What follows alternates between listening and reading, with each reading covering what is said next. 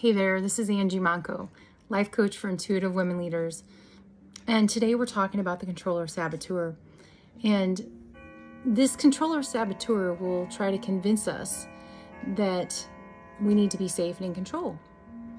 And one of the justification lies of the controller is that I need to push people. I need to push people. And it's a justification because a lot of times the controller is not the most, at least when they're in their controlling saboteur mode, the most finessed or uh, tactful with their language. They can be very direct.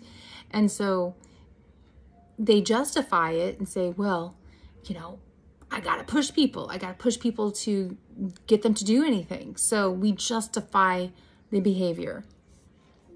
So, but it's not true. And it really isn't. When we can let our sage self, our higher self, be in charge of this relationship issue, then it has a much better way of handling that and and knowing not to to push people to you know they're going to do a lot more for us if we respect them and believe that they have the ability to get things done so and and i'm you know i'm not on my pedestal with any of this like i've lived through this myself and I know that it's possible, you know, to to lay down the ego and to really come into our sage.